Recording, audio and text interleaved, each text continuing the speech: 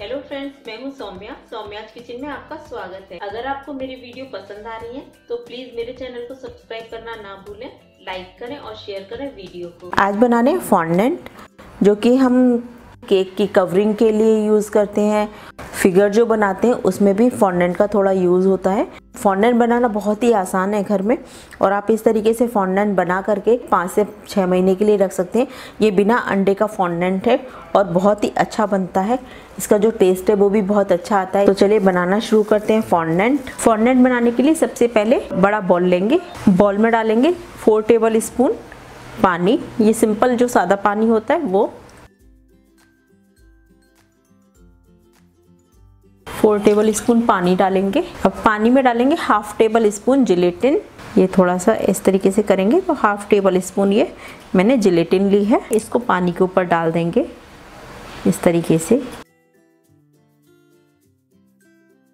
करीब पाँच से दस मिनट के लिए इसको ऐसे ही रखा रहने देंगे, जिससे कि जिलेटिन फूल जाए। जिलेटिन को रखे हुए करीब पाँच मिनट हो गए हैं। हल्की सी फूल गई है, आप देख सकते हैं इस तरीके से।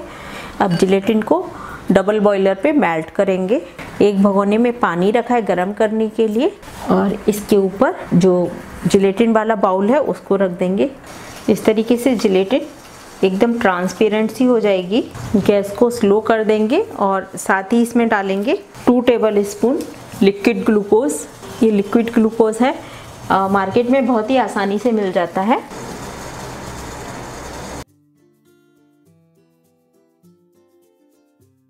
साथ ही साथ मिक्स करते जाएँगे इस तरीके से। डालेंगे हाफ़ टेबल स्पून ग्लिसरीन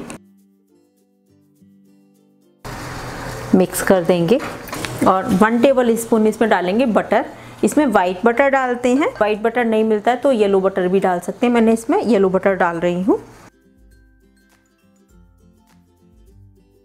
और बटर को भी अच्छे से मिक्स कर लेंगे। सभी चीज़ें अच्छी तरीके से मिक्स हो जानी चाहिए। आप देख सकते हैं, सभी चीज़ें मेल्ट हो गई हैं, गैस को बंद कर देंगे। ये देखिए इस तरीके से। अब थोड़ा सा रूम टेम्परेचर पर आने देंगे मिक्सचर को। उसके बाद इसमें ये आइसिंग शुगर है, ये तीन कप जो मार्केट वाली चीनी है, वही ली है। और उसी को ही लेना है आपको भी, क्योंकि घर की चीनी कितनी भी महीन होती है, लेकिन फिर भी उसमें दाना होता है तो उसे अच्छी तरीके से फॉन्डेंट नहीं बन पाता है। तो आप मार्केट में जो पिसी हुई चीनी आती है आइसिंग शुगर आती है, वही लें। साथ में इसके लिए चाहिए टाइलोज पाउडर। ये जिस पे भी आपको केक बनाने का सामान मिलता है, उस पर बहुत ही आसानी से सभी सामान मिल जाता है। अभी थोड़ा सा ठंडा हो गया है। तीन कप भर के चीनी ली है और ज़रूरत होगी तो पिसी हुई चीनी और ले लेंगे हम। अब इसमें हम थोड़ी थोड़ी चीनी डालते जाएँगे और मिक्स करते जाएँगे।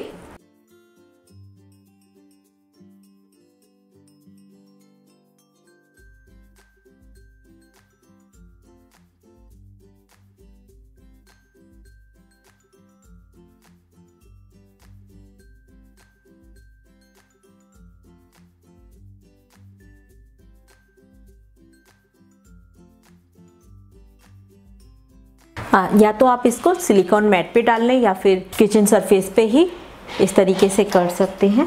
पहले चीनी डालूँगी थोड़ी सी और जो मिक्सचर है, उसको।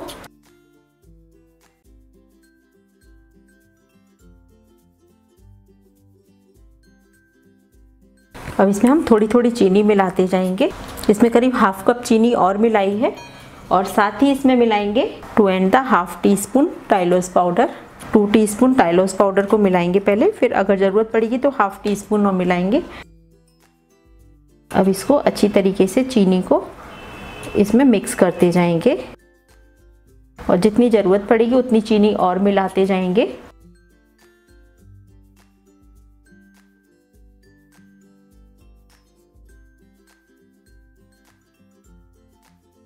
ये देखिए, इस तरीके से मिक्स करते जाएँगे। और देखिए टाइलोस पाउडर डालते ही ये बंधना शुरू हो जाता है।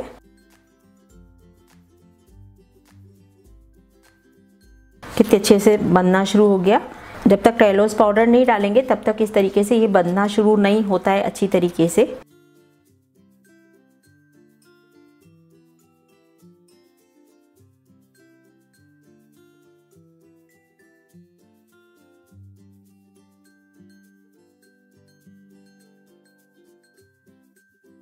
आप चाहें तो इसमें वेनिला एसेंस भी डाल सकते हैं।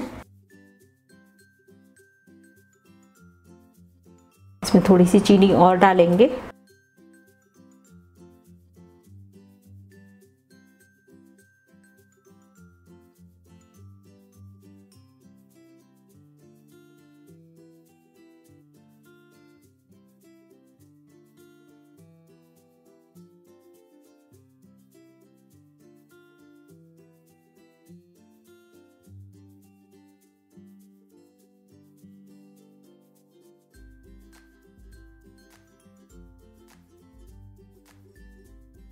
इसमें करीब साढ़े चार कप चीनी लग गई है और इसमें जितनी चीनी आसानी से मिल जाए, उतनी ही चीनी मिलानी चाहिए।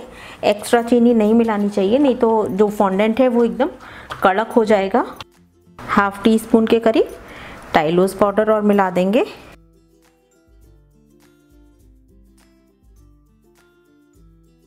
ये देखिए, कितनी अच्छी तरीके से फॉन्डेंट तैयार हुआ है। ये फॉन्डेंट तैयार हो गया है। अब इसको क्लीन रैप में पैक करके रखेंगे। कम से कम छः से आठ घंटे के लिए या आठ से दस घंटे के लिए इसको क्लीन रैप में पैक करके रखेंगे। बिल्कुल भी एयर नहीं पहुंचनी चाहिए इसमें।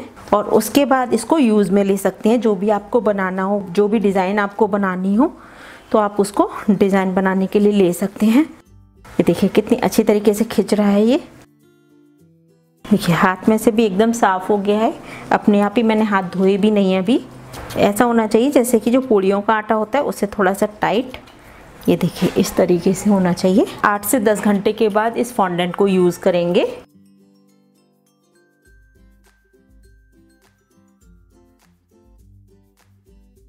क्लीन रैप के ऊपर हल्का सा मक्खन लगाएँगे और इसके ऊपर अब फॉन्डेंट को रख देंगे और अच्छी तरीके से पैक कर देंगे।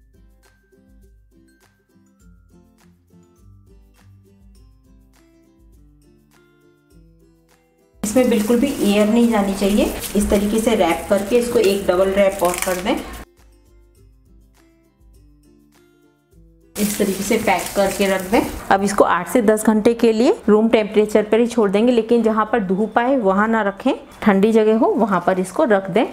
और इस फॉन्डेंट को आप पाँच से छः महीने के लिए यूज़ कर सकते हैं। पाँच से छः महीने के लिए रख सकते हैं। अगर आप ढंग से रैप करके रखेंगे तो आपका फॉन्डेंट जल्दी ख़राब नहीं होगा और आप ज़्यादा टाइम के लिए इसको यूज़ कर सकते हैं। फॉन्डेंट को रखे हुए करीब आठ दस घंटे हो चुके हैं और आप देख सकते हैं फॉन्डेंट एकदम कड़क हो गया। ये देखिए, एकदम कड़क हो गया है रखे रखे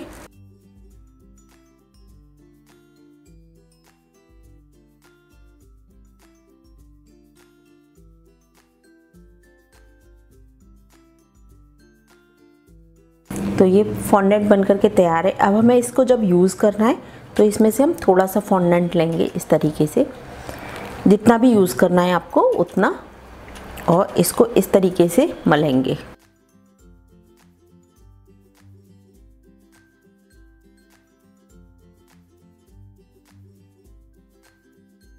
देखिए, जितने अच्छी तरीके से मलेंगे, उतनी अच्छी तरीके से स्ट्रेच होगा ये।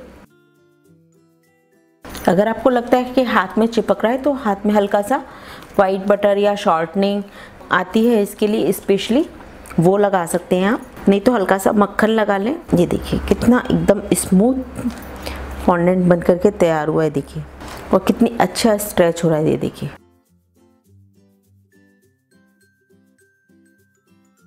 ये देखिए, ये कितना कड़क है। और एकदम ये सॉफ्ट है। ये फॉन्डेंट बन करके तैयार हो गया है। बहुत ही अच्छा फॉन्डेंट बन करके तैयार हुआ है। आप जब भी फॉन्डेंट को उठा करके रखें, जब भी आपको यूज़ नहीं करना हो तो इसको अच्छी तरीके से पैक करके रखें, जिससे कि इसमें एयर ना पहुँचे। अगर एयर पहुँचती है तो ये जल्दी ख़राब हो जाता है। एक डिब्बे में करके आप रूम टेम्परेचर पर ही रख सकते हो। बस धूप नहीं आनी चाहिए। फ्रिज में नहीं रखना है इसको। फ्रिज में मत रखिए। तो अगर आपको ये फॉन्डेंट की रेसिपी पसंद आए तो प्लीज़ मेरे चैनल को सब्सक्राइब करें लाइक करें और शेयर करें वीडियो को अपनी फ्रेंड्स और फैमिली के साथ में। Stay happy and keep cooking thank you और ऐसी नई रेसिपी देखने के लिए देखते रहिए सौम्याज किचन बाय फिर मिलते एक नए वीडियो के साथ।